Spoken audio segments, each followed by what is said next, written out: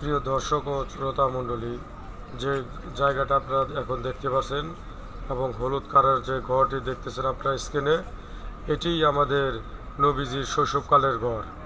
এখানে আমাদের প্রিয় নবীজি জন্মগ্রহণ করেছে। এই ঘর তো সেই আগের ঘর নয় এখন আর কি সৌদি সরকার এখানে একটি জাদুঘরের মতো তৈরি করে রেখেছে।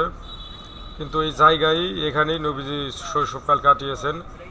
আপনারা দেখতে পাচ্ছেন সেই হেরামের চত্বর। এবং এখন যে গাছ এবং যে গঠ এখন দেখতে পাচ্ছেন এখানেই ছিল সেই আবু জাহেলের বাড়ি, কুখ্যাত ইসলামের শয়তান সেই আবু জাহেল। এখানে বর্তমান সৌদি সরকার বাথরুম করে রেখেছে।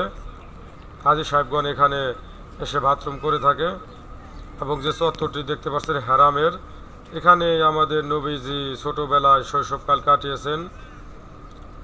আপনারা দেখতে পাচ্ছেন মক্কার সেই হ্যারামের চত্বর। এটি সাফা মারোয়ার গেটের সাইডে অবস্থিত। আপনারা যারা হজ এবং উমরা করতে আসবেন, অবশ্যই এই জায়গাগুলি দেখবেন ইনশাল্লাহ দেখ- দেখতে থাকুন কত সুন্দর নবীজির সেই স্মৃতির জায়গাগুলো। প্রত্যেকটি এই জায়গা আমাদের নবীজির প্রিয় নবীজির পায়ের কদম মুবারক লেগে আছে। আমরা যারা হজ এবং উমরা করতে আসতে পারিনি আল্লাহর কাছে বারবার দোয়া করি যেন আল্লাহ তালা আমাদের হজ এবং উমরা করার তৌফিক দান করুক। আমিন।